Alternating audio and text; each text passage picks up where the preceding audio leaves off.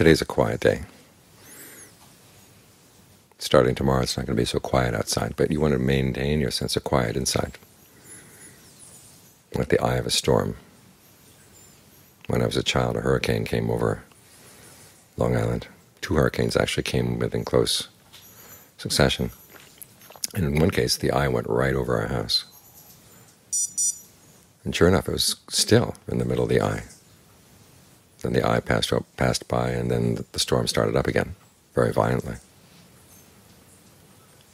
So you want to be the eye in the middle of whatever storm of activity. Fortunately, there's not going to be a lot of greed, aversion, and illusion swirling around, but there's going to be a lot of activity, a lot of different people with a lot of different ideas, different ideas of what you should be doing, what they should be doing.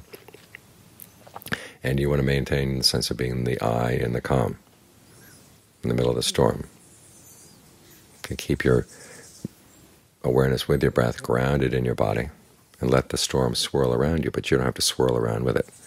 If you get caught up in other people's opinions and other people's emotions, okay, you suddenly find yourself in the storm.